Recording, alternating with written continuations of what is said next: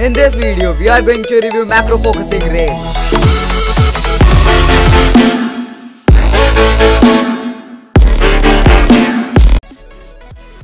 So here is the box itself. Untidy contagion and made in China branding. Nothing is written on the box apart from this.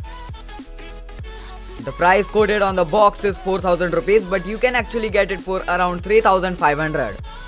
On opening the box, one thing I assure is that they don't know how to pack.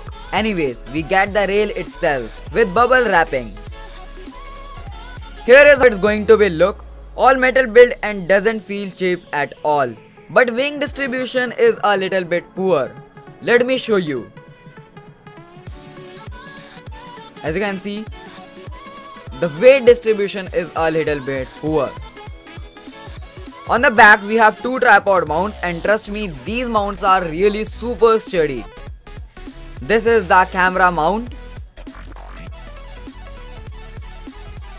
and two main focusing rails.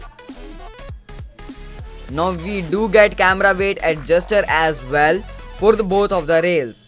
You can tight them for heavier and loose them for lighter cameras and by lighter I mean point and shoot or your maybe your mobile phone. You can mount your phone as well using mobile mount and this is I tried to be a little bit cinematic and this shot was taken with this DSLR slider.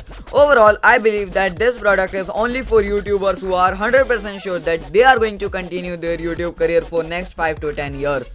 Also I would say that if you are a super photographer or photographic enthusiastic so definitely you should go with this. So thanks guys this is another from Rectoids. I hope that you like the video. In case if you like the video give a thumbs up and in case you haven't subscribed to my channel it's better to subscribe to my channel.